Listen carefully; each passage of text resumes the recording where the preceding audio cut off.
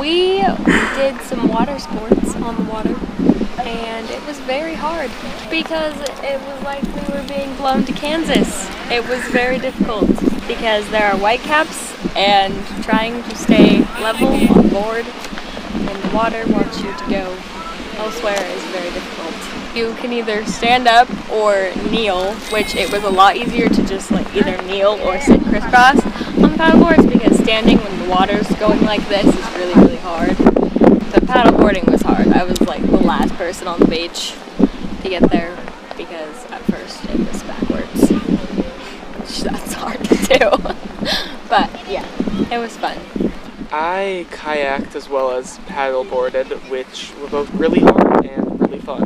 I kayaked the first, I'd say probably 30, 20, 30 minutes with Alyssa as well, which was great. And then we switched off after getting to a set of uh, rocks where we made clay and covered ourselves in clay. Um, and then I paddleboarded the way back. That had to feel weird. Covering myself in clay?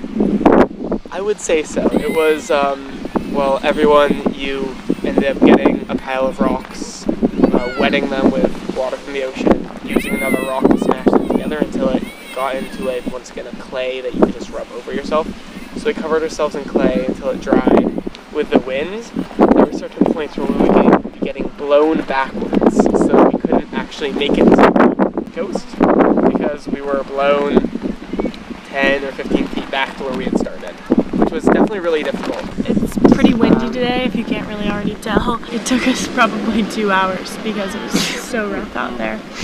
It was definitely fun, I can't complain, but a little less wind would have made it a lot easier.